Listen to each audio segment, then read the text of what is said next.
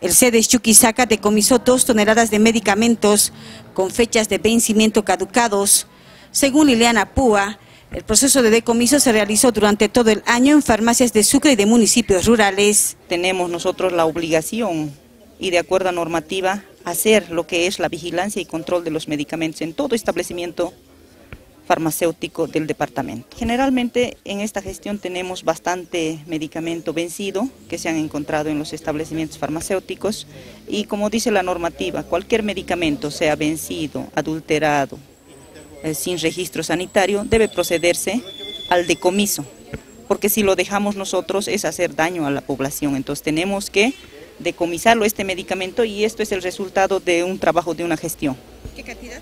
tenemos 2.000 kilos, más o menos, sí, aproximadamente 2 toneladas. La destrucción es especial para nosotros, como les dije hace rato, sería muy fácil agarrar y dejarlo aquí para que venga el carro en la noche y lo recoja, pero no, estamos hablando de medicamentos, debemos resguardar la salud de nuestra población, es por ello que nosotros lo hacemos de esta manera, como indica la normativa.